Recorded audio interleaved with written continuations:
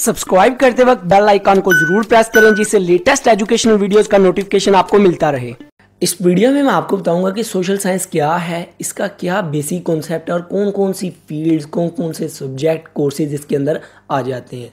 तो सबसे पहले समझते कि सोशल साइंस होता क्या है। सोशल साइंस जो है ना साइंस की एक ब्रांच है, जिसमें हमारा फोकस होता है, जिसमें हम ज़्यादा स्टडी करते हैं, किसके बारे में? सोसाइटी के बारे में।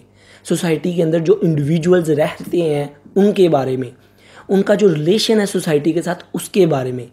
हम देखते हैं कि यार, इनकी थिंकिंग कैसी है? एंथ्रोपोलॉजी में क्या आ जाता है कि हम स्टडी करते हैं इंसान के बारे में, कि इंसान क्या सोचता है, उसके बॉडी पार्ट्स के हैं बायोलॉजिकल स्टडी भी करते हैं, और उसके जो इनविजिबल पार्ट्स हैं, जो उसकी परसेप्शन है, उसकी थिंकिंग है, उसकी एवोल्यूशन कैसे हुई, वो कहाँ से आया, क्यों आया ठीक है? उसका कल्चर क्या है? उसकी हिस्ट्री क्या है? उसका पॉलिटिकल सिस्टम क्या है?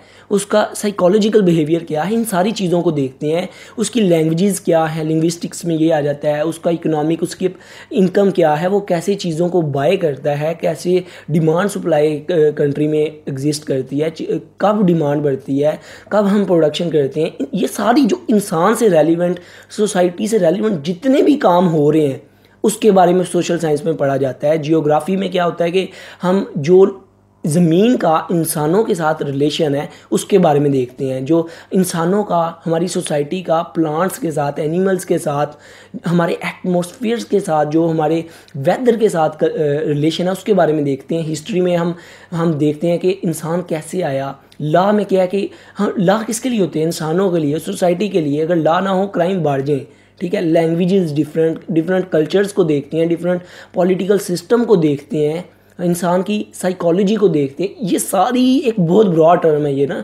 सोशल साइंस इसमें बहुत ज़्यादा चीज़ें आ जाती हैं कि इंसान का कल्चर कैसा है, वो अगर इस तरह का है तो क्यों है? डिफरेंट कंट्री में लोग डिफरेंट क्यों हैं? डिफरेंट लैंग्वेजेस क्यों हैं? इन सारी चीज़ों को हम बहुत डीपली समझते हैं। इंसान के बायोलॉजिकल पार्ट्स को भी इसमें देखा जाता है। तो ये इसका कॉन्सेप्ट था। आई होप आपको क्लियर हो चुका होगा। वीडियो अच्छी लगी हो तो सब्सक्राइब और लाइक करना मत भूलिएगा। अपना बहुत ख्याल रखिएगा। दुआओं में याद रखिएगा। Good bye